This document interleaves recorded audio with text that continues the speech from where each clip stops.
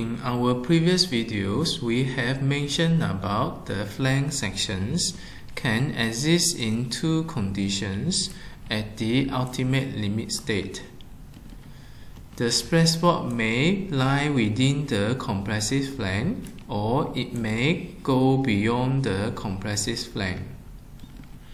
In the previous videos, we have already discussed the derivations of the equations based on the conditions where the stress block lies within the compressive flange. Therefore, in these videos, we're going to focus on the conditions where the stress block is beyond the flange region.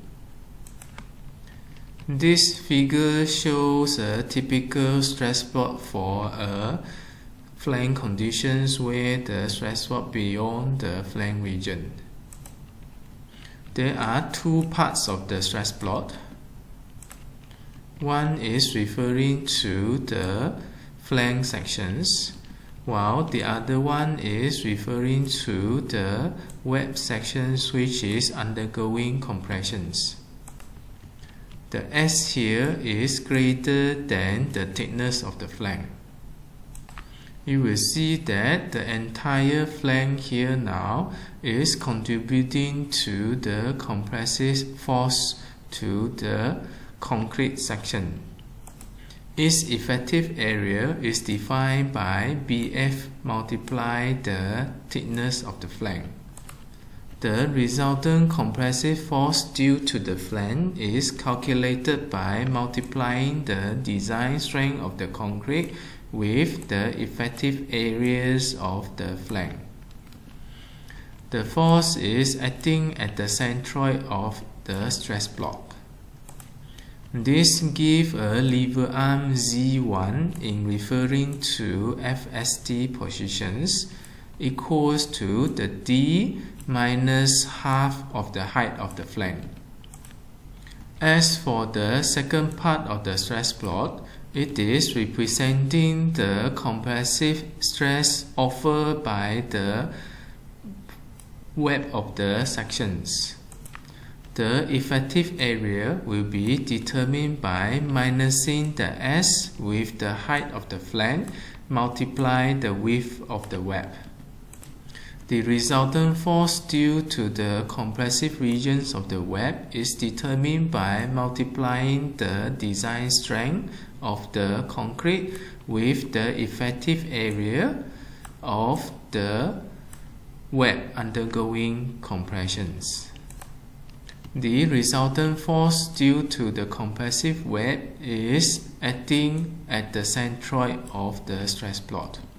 This gives you a lever arm Z2 which is equals to D minus height of the flange minus half of the height of the stress block here.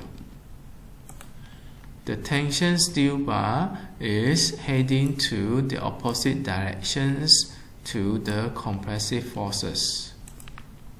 Now we look into the derivations process for the flange sections under these conditions.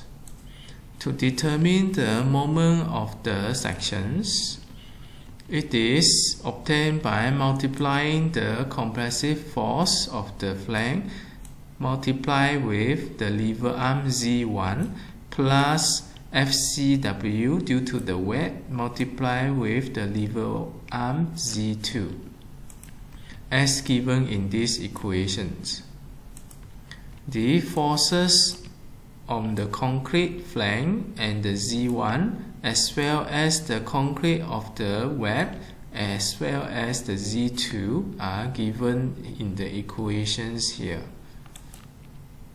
With a given moment load, there will be one unknown within the entire equation, which is the SW here, which is the height of the web. You need to solve these equations for you to determine the SW, which is later to be substituted into the equations based on the static equilibrium. The equations for the static equilibrium, it will be Fst equals to FCF plus FCW. With the SW found in the equations to be substituted into the equation here, you will have only one unknown which is AS. Solve the entire equation here, you will obtain the required amount of the reinforcement bar to be provided at the bottom of the web section. Bear in mind that this equations is only valid when the flange is undergoing compressions. In the case that the flange is not undergoing compressions, the sections will be designed as if a rectangular beam because the concrete is considered not offering anything in terms of the tensile resistance.